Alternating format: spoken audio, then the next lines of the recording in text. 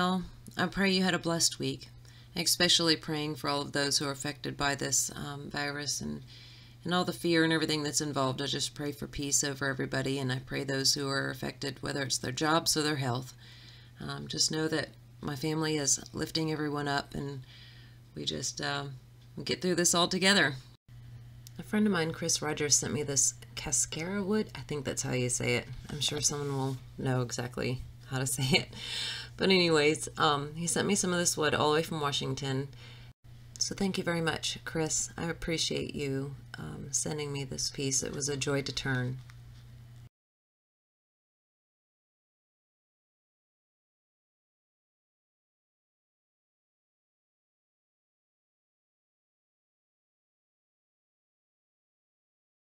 all the dust you see flying off of it as I'm turning it is because there was a lot of um, bug holes. There wasn't any bugs in it when I got it, but it had eaten the sapwood and that stuff flying off there was so dusty. And it uh, it's like kind of driving down the Lime Rock Road, a really dry Lime Rock Road. The, the dust was everywhere. It was on my skin. I mean, it was the dustiest stuff I've ever turned. Um, but I guess that's to be expected. All those bugs had a feast under there. Thank goodness not much of the wood was affected um, on the inside. There were a few uh, bug trails that I did leave natural. I didn't fill them. Once I got past all the dusty parts and the wormholes, um, and that's really what I was trying to get out was the majority of the um, eaten up parts. It was real soft anyway. It was it would sand away too too quickly if I were to try to leave it in. So I just decided to try to get as much as, as I, I could out, you know, um, shaping it.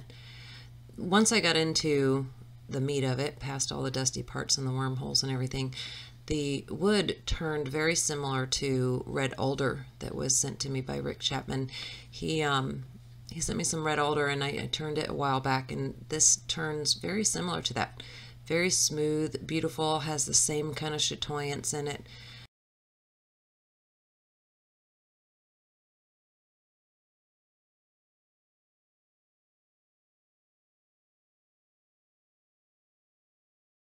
So an interesting fact about this particular tree is it grows a type of berry. Um, I guess they are edible, but they're not very tasty.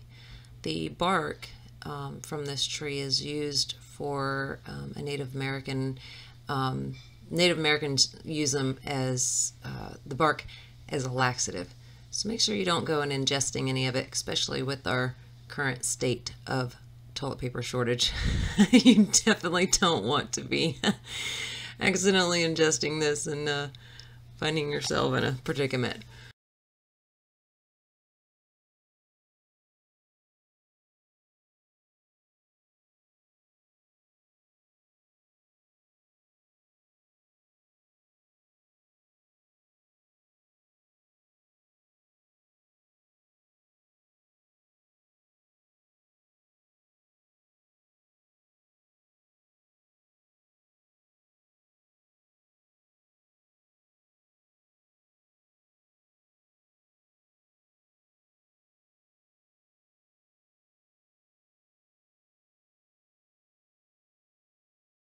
I started using a while back like old t-shirts and old um, like sheets and whatever cloth material I have um, that we're just going to throw out or had holes or rips or whatever in it. I started cutting them up in, in squares and putting them in a little bucket just to keep the dust out of them with the lid. Um, to apply my finishes and get the abrasive paste on and off, it seems to work much faster and much better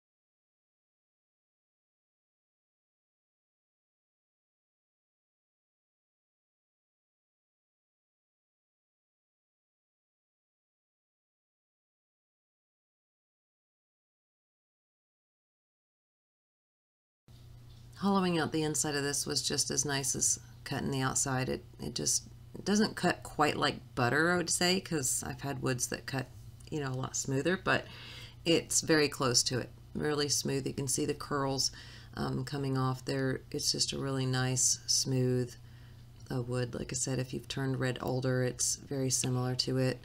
Um, beautiful chatoyance in this wood all throughout it. Even before I um, sanded it, you could see some chatoyance in the wood. It's just beautiful color and beautiful grain. Really nice and fun wood to turn.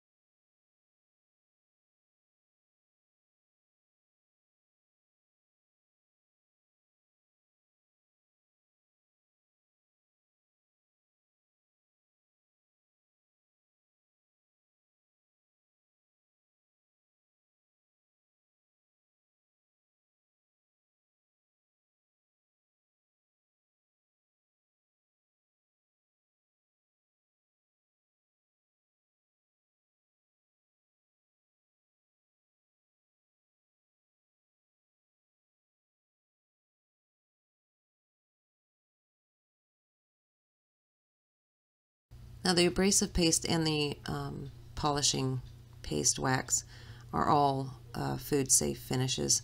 I wanted this piece to be used, you know, as something someone might put bananas in or food or, or whatever you wanted to use it for. It's and just wanted to open up the possibilities of food being put in it. Um, that's why I decided to go with it finished. Plus the wood was just beautiful on its own. It didn't need a high gloss. It it just, you know, the wormholes too, it really gave it a nice natural, um, just, I don't know, I guess kind of on the rustic side because of the little holes and pits and stuff from the worms.